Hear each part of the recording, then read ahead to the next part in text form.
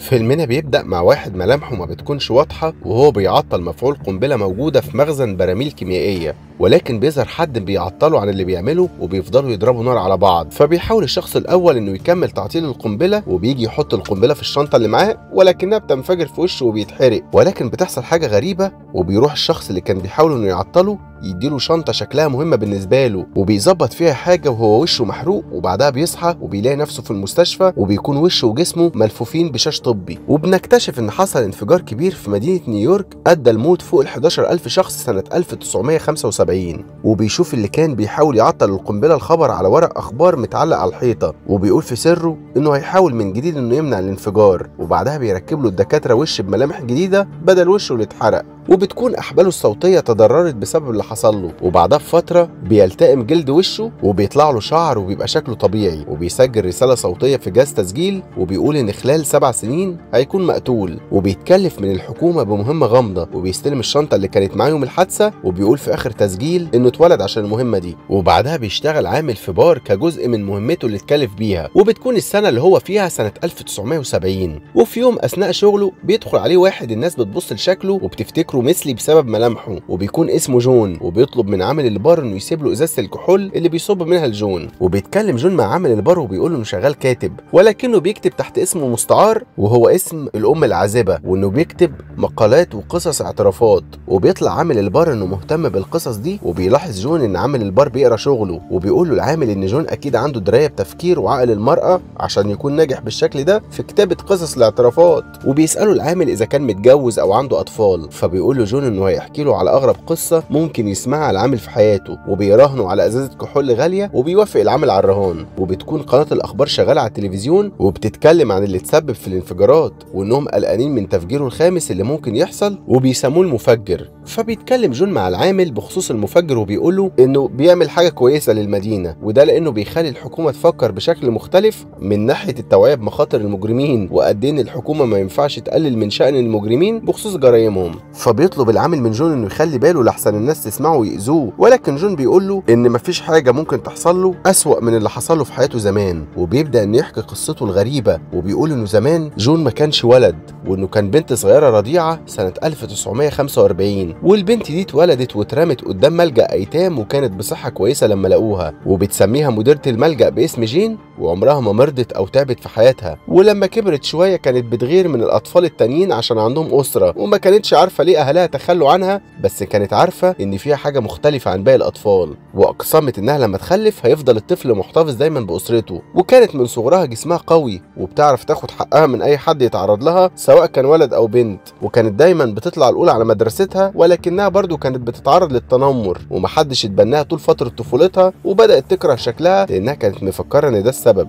وفي يوم تخرجها بيجي لها واحد اسمه روبرتسون الملجأ وبيقول لها إنه شغال في منظمة اسمها Space Corp وإنه عايز يشغلها في المنظمة عشان تسافر للفضاء. فبتقول له جين إنها سمعت إن الأولاد بس هم اللي مسموح لهم يكونوا رواد فضاء. فبيقول لها روبرتسون إنه بيدور على سيدات متفوقين في مجالات الرياضة والعلوم بقدرات بدنية عالية زيها وبيديها الدعوة لحضور مقابلة العمل في Space Corp. وبتروح جين المنظمة وبتعمل المقابلة وبتقول لهم جين إنها كانت دايما الأولى في دراستها من أول سنة ليها في المدرسة لحد التخرج.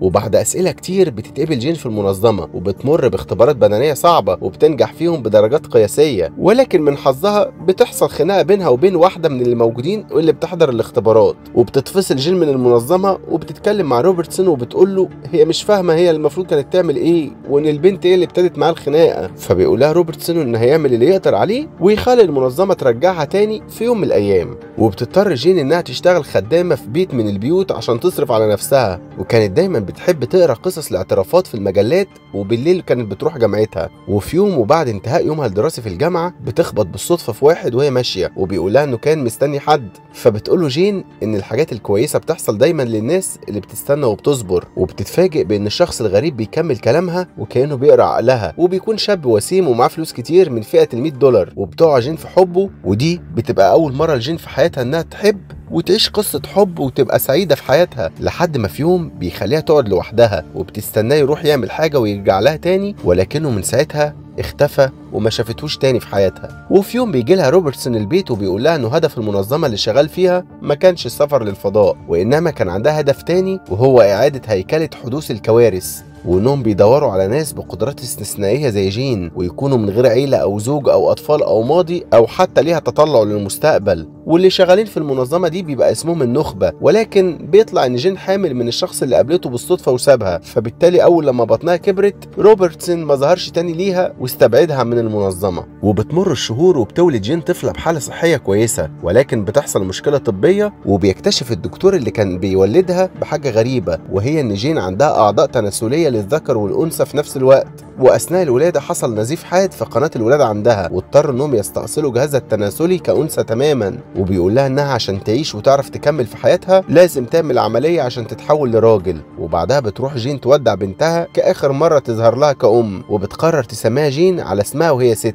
ولكن الرضيعة بتتخطف بعد أسبوعين من واحد غير معروف. وبعد شهور من محاولات الشرطة إنها تلاقي الرضيعة ما لقوش لها أي أثر وكأنها اختفت من على وش الدنيا. وبعدها بتعمل جين عملية التحويل وبتتحول لراجل وبتسمي نفسها جون. وبتفضل تاخد جرعات من الهرمون الذكوري عشان صوتها يبقى خشن. وبيتمرن جون اللي هو كان جين على طريقة كلام الرجالة. وبعد شهور بيتأقلم جسمه على التغيرات اللي حصلت له. وكل مرة بيبص جون للمراية بيفتكر شكل الراجل اللي خلف منه واختفى وبيكره جون الشخص اللي حبه لما كان بنت لأن هو السبب في كل اللي حصل له وبيتمنى إنه يموت. وبعدها بيقدم جون تاني للعمل في Space Corp عشان هو بقى راجل وممكن يسافر للفضاء ولكن بعد الفحوصات اللي على جسمه بيترفض وبيكتئب جدا وبعدها بينتقل لمدينة نيويورك وبيشتغل في مطعم وجبات سريعة بمرتب قليل جدا. فقرر بعدها إنه يشتري آلة كاتبة وبدأ يكتب قصص الاعترافات وسمى نفسه في المقالات باسم الأم العازبة وبيقول لعامل البار إن المفروض إن أنت عرفت ليه جون عنده دماغ امرأة في طريقة كتاباته.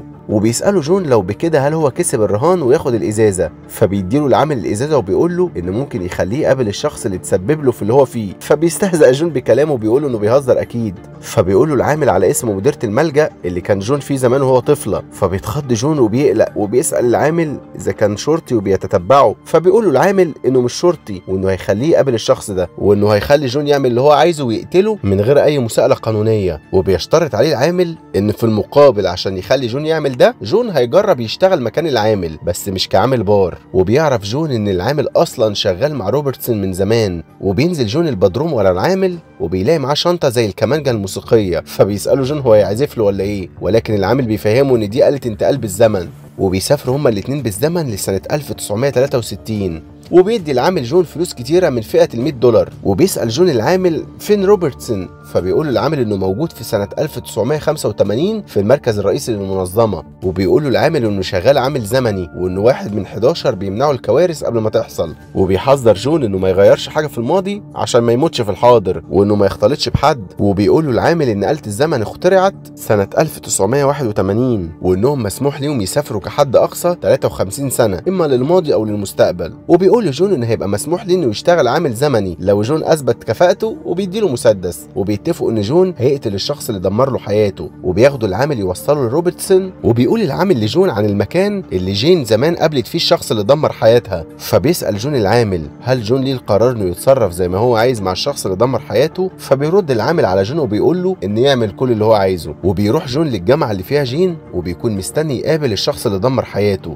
ولكن جين بتخبط فيه وهي ماشية بالصدفة وبتعتذر له. فبيقول لها إن هو مستني حد. فبتقول له جين إن الحاجات الكويسة بتحصل دايما للناس اللي بتستنى وبتصبر. وبيكمل جون كلام جين وهو مصدوم وبيعرف إن هو الشخص اللي دمر حياته بنفسه لما قابل جين وخلاها تحمل منه وإن الشخص اللي هي قابلته يبقى هو نفسه. وبيتفرج عليهم العامل من بعيد وهو معاه آلة الزمن وبيسافر لسنة 1970 لوحده. وهناك بيلاقي واحد في مخزن براميل كيميائية ومعاه قنبلة موقوتة. وبيحاول العامل انه يوقفه وبيضرب عليه نار وبيجري وراه. ولكن بيوقعه المفجر وبيضربه ضرب مبرح وبيسيبه ولكن العامل بيفوق بسرعة وبيقوم يجري وراه ولكن بيلاقيه مولع وجسمه ووشه بيتحرق وبيبقى العامل مصدوم عشان عارف إن المفجر هو هو نفسه العامل في المستقبل وبيدي الشنطة الزمنية اللي معاه في المستقبل لنفسه المستقبلية وبيظبطها على سنة 1992 وبيسافر للمستقبل وساعتها بيلقط العامل شريحة من القنبلة من على الأرض وبيسافر لسنة 1964 عن طريق الشنطة بتاعته اللي جه بيها. وبيروح العامل لأوضة وبيقفل على نفسه وبيكون متعصب بعد ما فهم الحقيقة وبيفضل يفكر في الماضي والمستقبل وهو ليه هيتغير ويعمل تفجيرات في المستقبل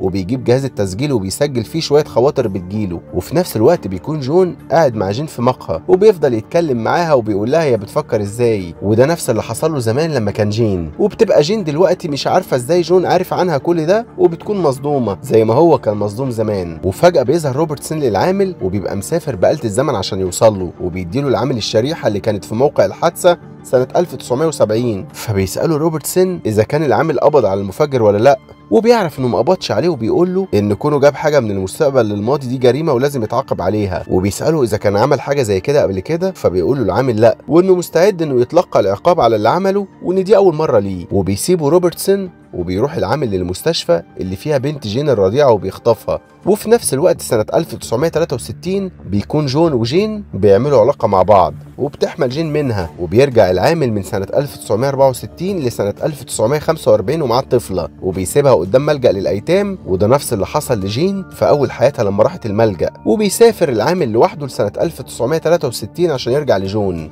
وبيلاحظ جون وهو مع جين في الجنينة إن العامل رجع فبيطلب جون من جين إنها تفضل مكانها وتستناه وهيجي لها تاني. وساعتها بيروح جون للعامل وبيصوب المسدس ناحيته وبيقول له إن العامل هو المسؤول عن تدمير حياة جون. وده لأنه خلى جون يسافر ويعمل علاقة مع جين اللي هو أصلا نفسه زمان. وإن العامل خطف جين وهي طفلة ورجعها لدار الأيتام في الماضي. فبيقول له العامل إن ما كانش عنده خيار تاني. وبيقول لجون إن جون عرف أصله وعرف إجابات أسئلته كلها. وبالتالي جون ممكن يعرف العامل ده يكون مين. وبياخد العامل جون وبيسافروا بالزمن لسنة 1985 عشان يقابلوا روبرتسون ويفهم جون منه كل حاجة. وهناك بيقول العامل لجون إنه هيبقى عامل زمني زيه ولكن جون بيكون أول مرة يسافر لبعيد بالزمن فبيكون تعبان جدا وبيفقد الوعي. وساعتها بيتكلم روبرتسون مع العامل وهما بيتفرجوا على جون وهو نايم في السرير. وبيقول له روبرتسون إن جون منع مئات الجرائم بسبب وجوده وسفره بالزمن. وكمان بسبب اللي العامل عمله معاه. وبيقول كمان إن جون خلى العامل يكون أفضل بكتير في شغله وعنده خبرة. وبيدي روبرتسون ظرف للعامل وبيكون فيه بيانات عن الشريحة اللي كانت في القنبلة.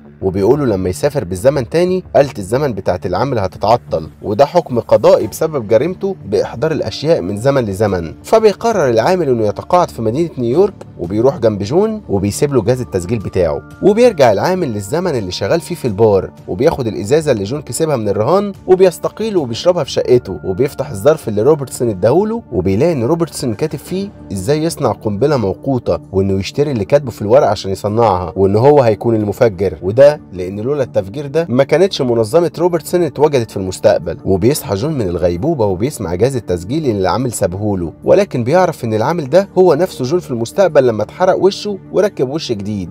وبياخد العامل المسدس وبيروح يقابل نفسه وهو كبير عشان يمنع نفسه إنه يعمل التفجير الضخم سنة 1975 وبيتفاجئ إن المفجر هو هو العامل بس بعد ما كبر. وبيقول المفجر إن التفجيرات اللي هو بيعملها بتمنع كوارث وجرائم أكبر وإن دي تضحيات صغيرة لمنع حدوث كارثة كبيرة. وإن لو العامل الصغير قتل نفسه الكبيرة العقدة الزمنية هتتكرر ومش هتنتهي. ولكن العامل بيقتل المفجر وبيقول له أنا عمري ما هبقى زيك. وبيكون جون اللي في سنة 1985 عمال لسه بيسمع التسجيلات لنفسه في المستقبل وبيفتكر العامل ترتيب حياته لما كان بنت صغيرة على باب ملجأ وبعد كده كبرت وبقى اسمها جين وبعد كده قابل نفسه وخلف من نفسه وتحول لراجل وبقى اسمه جون وبعد كده وشه اتحرق فعمل عملية لنفسه وتحول للعامل اللي بعد فترة اتحول هو نفسه للمفجر. وإن البنت الصغيرة دي جون يبقى أبوها وأمها في نفس الوقت وإنها تبقى جون نفسه لأن العامل خطفها وهي صغيرة وحطها على باب الملجأ وعاشت نفس حياة جون. وبكده بينتهي الفيلم والعقدة الزمنية لسه شغالة وبتعيد نفسها بنفسها وما بتنتهيش. الفيديو ده كتبه كريم أشرف وسجله محمد طاهر ده اللي هو أنا يعني. ومنتجه محمود مجدي. وما تنسوش تعملوا follow لصفحة فيلم في الخمسين عشان تتابعوا الملخصات الدرامية و follow لصفحة محمد طاهر عشان تتابعوا الملخصات الكوميدية و follow لصفحة هكونا مطاطا عشان تتابعوا ملخصات الأنمي والكرتون. سلام.